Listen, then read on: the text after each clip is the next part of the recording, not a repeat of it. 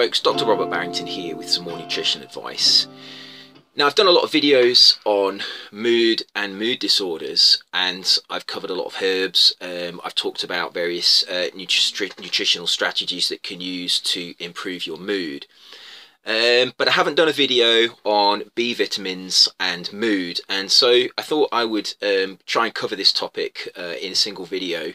Um, it's a quite interesting topic. Um, many people associate B vitamins with uh, energy uh, and providing energy. Uh, and even if you look at the back of um, cereal packets, you'll see that uh, usually they give um, the uh, B vitamins, they, they usually say that they are um, required for energy production, and that's true. Um, but B vitamins also, because they uh, are useful in energy production, they help with uh, energy production in the brain. Uh, and there may be um, uh, uses for B vitamins in terms of elevating mood. Now, I've done a small slide uh, that provides a, a table with some information on it. So if I bring that slide up, I just wanted to talk through some of the information on there so that uh, if it's something that you haven't considered, say you've got a mood disorder, say you're, uh, you're, you're, feeling anxious, you've got mild depression, and you're looking to treat that and elevate your mood, um, having a look at the amount of B vitamins in your diet uh, is something that perhaps you could do. So if we have a look uh, at the table that I've uh, that I've constructed, we can see um, there are a, a, number of B vitamins that are required for um, brain function. Now, uh, B vitamins are um, required for energy production. They're required as cofactors in many energy producing um, reactions, and so they're uh, intimately involved with uh, processes, cellular processes like glycolysis, the citric acid cycle, um, and they help um, all cells produce energy and give cells all uh, all cells normal metabolic regulation. Now, obviously, your brain has brain cells, and and the, the cells that actually uh, provide and use neurotransmitters to um, change your thoughts and your uh, your you know your mood. Um, they're, they're, they're neurons and they, they work in the same way. They have the same cellular requirement for um, cofactors, B vitamins, other vitamins, phytochemicals in order to be able to work properly. So it's no uh, it's no uh, uh surprise that B vitamins are required um, for producing energy in the brain, uh, and therefore it's no surprise that if they provide energy to brain cells, to neurons, that um, this has an effect on mood. Um, now, generally, um, I don't really ever recommend taking B vitamins in isolation unless there is a specific problem uh, that you're trying to um, treat. Generally, B vitamins work together, they work in cellular pathways, uh, many of them interact, and so it's always a good idea uh, if you're going to take a supplement of B vitamins to take them as a as a complex. Uh, and most multivitamins will contain most of the B vitamins that you require. Some multivitamins are obviously better than others, uh, but generally you will find folate or folic acid, um, sometimes called vitamin B9. You'll find uh, cobalamin or a version of cobalamin, uh, which is vitamin B12. Um, uh, you'll find uh, thiamine, which is vitamin B1, uh, and you'll find uh, pyridoxine um, or a version of pyridoxine, which is vitamin B6.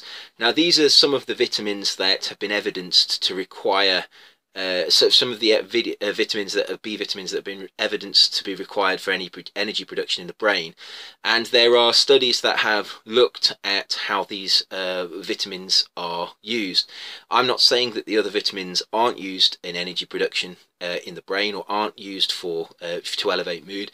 This is just um, some of the ones that have got some good evidence supporting them, and we can see their effects that they have on on brain function. So folic acid or folate um, is quite easy to get in the diet. If you eat lo lots of green leafy vegetables, you will have um, folic acid, folate in your diet.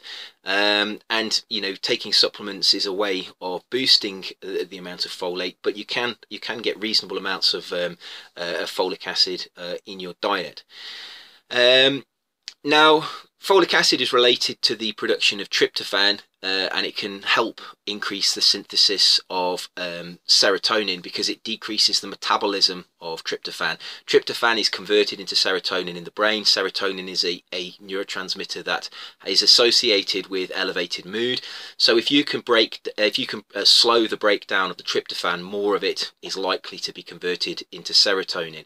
Uh, and likewise, similar pathways occur um, in order to be able to increase levels of dopamine and noradrenaline.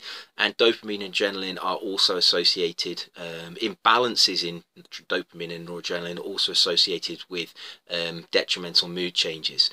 Um, and as with all the other B vitamins, the folic acid also um, contributes to energy production in the brain. So really, uh, folate is a very um, important um, uh, it's an important vitamin uh, for brain function, for neurotransmitter um, metabolism, because it uh, it prevents the degradation of some of the important um, monoamine um, neurotransmitters. So we're talking about serotonin, dopamine, and noradrenaline. Um, now, I'm not saying that higher levels of those uh, neuro, uh, those neurotransmitters are beneficial. Um, some, in some cases, there may be uh, mood uh, problems from having uh, elevated levels uh, too high. What we're talking about is trying to maintain the correct levels, the homeostatic level of the brain that requires a certain level of these neurotransmitters. Um, although low levels are associated or most commonly associated with mood, mood disorders um, it's obviously more is not always better. Uh, what you want is the required amount. And certainly taking you know vitamins and minerals making sure you've got them in your diet is one way to to help ensure that the brain can provide uh, what it needs in order for its own you know its its own um, function um, vitamin B12, uh, everybody uh, is aware that vitamin B12 is used for energy production. A lot of people take vitamin B12 injections for that purpose. Um, and uh, unlike uh, folic acid, which prevents the degradation of the monoamine neurotransmitters, cobalamin, cobalamin uh, or vitamin B12, um, it, it, increases the production of the of serotonin, uh, dopamine, and noradrenaline. Um, there's also other functions of vitamin B12 in the brain. Um, for example, v vitamin B12 is needed for the synthesis of the cell membranes around neurons, and it's those cell membranes that are required for the connections between neurons, and that um, any breakdown in that membrane or the function of that membrane would decrease the efficiency of neuronal communication. Um, and as well as uh, anybody who knows about um, homocysteine metabolism will know that um, folic acid and uh, vitamin B12 are both required uh, for each other's um, kind of metabolism within the body. There is a there is a mutual um, compatibility between the two um, vitamins, such that high levels of one can detrimentally affect uh, the other vitamin. So they're needed in balance, and and and certainly a deficiency in vitamin B12 can uh, can uh, can affect folate metabolism as well. Uh, and this is one of the reasons why B vitamins really should always be taken uh, as a complex um, rather than in isolated, uh, you know, in isolated as, as isolated compounds. Um, acetylcholine um, is not so uh, uh, the main the main neurotransmitters are, uh, that, that affect mood are serotonin dopamine and noradrenaline. Uh, but there is some evidence that acetylcholine may may affect mood. And one one line of evidence for this is uh, those people who have um, you know certain um, dementias that have uh, low levels of acetylcholine they do get a certain type of depression along with that as well. Whether that is actually caused by the low levels of acetylcholine or whether that is a knock-on effect because of other effects within the brain it's not quite clear but acetylcholine does appear to have um, a, a certain effects on mood. It certainly has effects on cognition. Low levels of acetylcholine are associated with poor memory. They're associated with poor recall, um, poor verbal skills. So acetylcholine is certainly, uh, you know, required for memory, uh, but there is a link there to um, to mood as well. And thiamine is required uh, for the synthesis of acetylcholine. So if you have a thiamine deficiency, one of the deficiency symptoms of thiamine is poor memory and this relates to the fact that uh, your acetylcholine levels decrease when you have a thiamine deficiency. Um, and, uh, uh, and and and this is obviously um, you know this is uh, this is again relates to energy production and the production of uh, you know cellular metabolism within the brain that requires certain cofactors one of them being um, vitamin B1 Uh, pyridoxine, vitamin B6, uh, again it aids in the synthesis of the monoamine neurotransmitters, so that's dopamine, serotonin and noradrenaline. Um, and you can have uh, reductions in brain levels of uh, certainly serotonin and also perhaps GABA uh, if you have a deficiency of vitamin uh, B6. Um, so again, pyridoxine is, is required for monoamine synthesis uh, and, and therefore you can see that um, you know again we're looking at another B vitamin another uh, a group of uh, the same group of monoamine neurotransmitters. Uh, and so you can see that B vitamins are required uh, really for those you know they're in they're they're intimately linked to those monoamine neurotransmitters that are related to mood disorders. So the question is can you get all of the uh, B vitamins that you require uh, in your diet or do you need to take supplements? Well, that really depends how good your diet is and what you eat. Certainly, I would question whether you can get enough vitamin B12 if you are a vegan.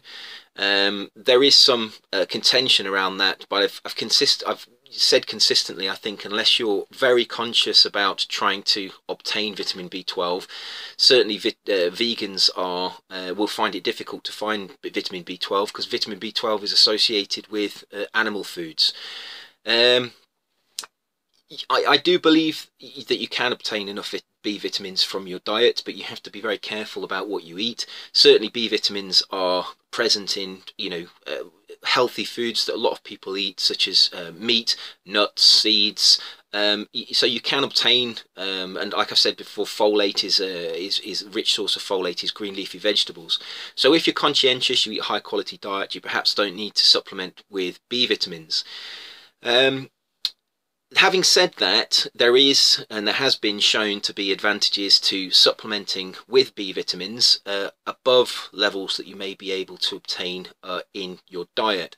So really you need to separate the B vitamin effects um, to nutritional effects, which um, are those effects that related to the amount that you can get in your diet, and actually pharmacological effects that are uh, almost drug-like effects that um, come from taking supraphysiological amounts of B vitamins. And certainly there is evidence that there are beneficial effects of taking um, B vitamin supplements.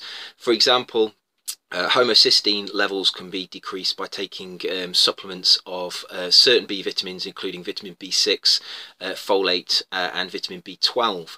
Um, diet can also decrease folate, uh, decrease homocysteine levels, but it's not as effective as uh, taking the supplements. Now, that's not to say that if you had a healthy diet, that the homocysteine levels wouldn't eventually fall back to normal levels, and the supplements are simply maybe acting uh, in in a kind of a, a, a quicker way.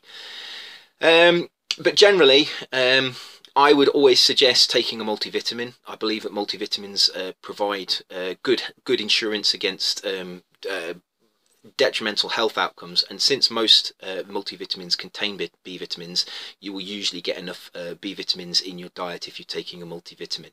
One thing to say uh, to finish this video off is that some people don't like taking supplements but they may be concerned that they don't get enough B vitamins in their diet uh, and there is actually a third way that you can uh, try and increase the amount of B vitamins that you get in your diet and that is by taking uh, a food supplement. Um, obviously synthetic vitamins in, in pills. Some people don't like taking them. Uh, so what you could do is you could actually take something like brewer's yeast or spirulina. Uh, you could take a, food that's rich in, in, in certain B vitamins uh, and that would be a way of, uh, of, increasing the B vitamins in your diet without actually taking synthetic vitamins uh, in a uh, in a supplement such as a multivitamin. some people prefer taking um, vitamins in that way, obtaining their, their nutrients in that way. there are advantages um, to taking, uh, you know, taking of B vitamins, for example, in brewer's yeast. There are other associated nutrients in brewer's, brewer's yeast, um, such as chromium, uh, and, and and possibly uh, nutrients that we really we you know we don't really understand what, what, you know what the health effects are but certainly brewer's yeast will supply uh, B vitamins in a, in a kind of a natural food form. Uh, and brewer's yeast is a food so you're not really uh, taking a supplement. You're just uh, eating another food that is is rich in, in B vitamins. So that's one option. Um, spirulina again has a, a, range of vitamins in including certain B vitamins. Um, and you know so so th those types types of superfoods are you know worth considering if you don't want to take a synthetic uh, multivitamin. Evidence uh, that um, synthetic vitamins are uh, not as good as food. Um, uh, food vitamins that's contentious um, i i you know, personally don't feel that synthetic vitamins are detrimental as long as you know which type you're taking and you know what you're doing. Um, there are forms of synthetic vitamins that are perhaps not as uh, uh as well absorbed or as well utilized as uh, vitamins that are present, for example, in plants or other uh, you know natural compounds. However, um, on the whole, taking a, a B vitamin in a multivitamin, a B complex in a multivitamin, uh, I don't really see any difference between that uh, and taking, you know, getting the B vitamins from your food or from um, from brewer's yeast. B vitamins are very well absorbed. They're water soluble, so they tend not to be toxic. Um, and uh, you know how much you take is is again contentious, but most multivitamins will have more B vitamins than you will require, and you will excrete a lot of the uh, the vitamin without utilizing it, uh, which you could say is a waste. Um, does it have any detrimental effects? Uh, I haven't seen any evidence of that uh, in studies. As long as you don't take uh, very very high concentrations, uh, they're usually very safe. So there's three options. You can look at foods that contain B, contain B vitamins in your diet you could take a multivitamin or a B complex, or you could look at a superfood like um, spirulina or, or brewer's yeast. But one thing's for sure, if you can increase or if you can, let's say, optimize the B vitamins in your diet, certainly that's not going to have a, a detrimental effects. And there is the, the, the, the, you know the, the benefit that it could actually uh, improve your mood if you have a, a B vitamin deficiency. If you don't have a B vitamin deficiency, if you've already got optimal levels in your diet, B vitamins are very unlikely to make any more benefit um, to your mood. So what we're really talking about is those people that have a deficiency. And of course, remember, some people have much higher requirements of B vitamins than others. So just because one person can get the B vitamins they require from their diet doesn't mean that everybody can. Some people have very, very high requirements for certain vitamins um, due to, you know, metabolic uh, and genetic differences that we all have uh, within our cells. So I hope you found that interesting. As always, eat well, stay healthy, and protect yourself. And I will see you soon for another video. Take care.